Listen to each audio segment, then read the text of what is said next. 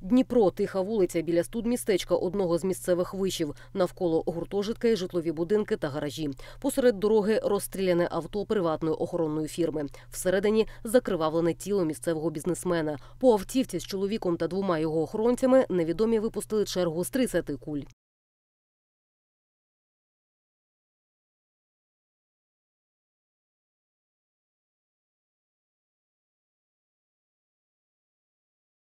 Бізнесмен гине на місці. Двох молодих охоронців рятують бронежилети. Обидва у реанімації, але медики від прогнозів утримуються.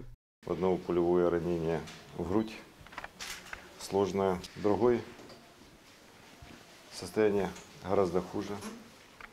Пуля одна попала, пробила легкое. Остановилась, пробив канал спинного мозга.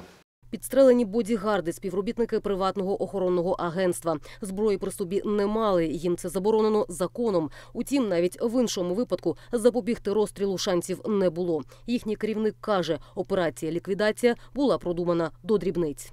Цель ставилась э, физически уничтожить всех, кто находился в машине.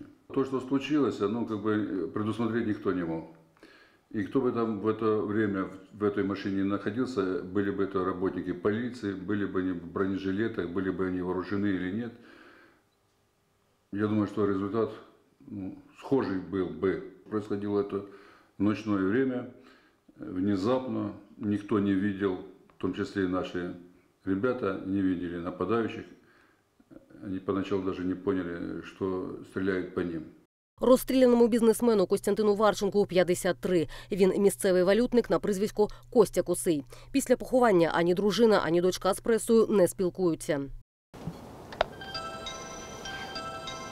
Ось у цьому будинку на території студмістечка чоловік із родиною прожив чи не усе життя. Сусіди після розстрілу налякані, але говірки. Семья, как семья, нормальная семья, жена врач. Да, он тоже врач по образованию. Вообще-то шоком, конечно, но было до этого, просто два года назад, э, нападение тоже на этого же человека. Навіть не один на життя бізнесмена вже були скоєні цілих два замахи, тому і найняв охоронців. На него было уже покушение, и не случайно он ездил э, с работы, в том числе с оружием. Он сидел на заднем сиденье, сиденье с оружием. Ну, он также не смог среагировать. Чому ж він найняв не державну озброєну поліцію охорони, а приватних бодігардів із забороною на зброю? Может быть, э, боялся, что в органах государственной власти какая-то будет утечка информации. А именно, возможно также, что эта частная охранная фирма могла быть связана с ним непосредственно. То есть он больше ей доверял.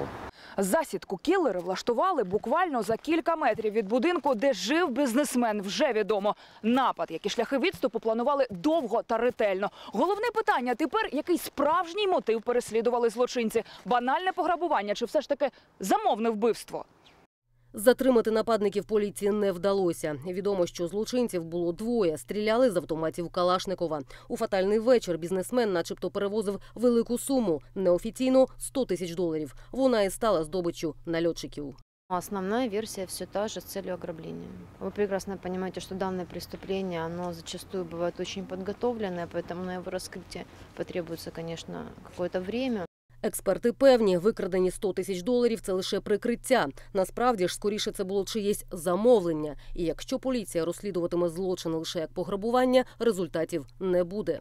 Я не сказав, що це сильно большая сума, по большому счету, для того теневого бизнеса, которым занимался этот человек. Полиции выгодно так говорить по той простой причине, что э, по заказным убийствам, соответственно, больше резонанс и больше внимания привлекает. И выгодно, м, скажем так, сместить акценты на э, какое-то банальное, скажем так, кража или грабеж, Отже, прогноз невтішний. Розстріл Кості Косого може стати черговим так званим висяком, котрих у Дніпрі за останні кілька років назбиралося більше ніж достатньо. Відтак кілери вже можуть планувати наступний напад, а ім'я замовника так і залишиться у цьому рівнянні невідомою.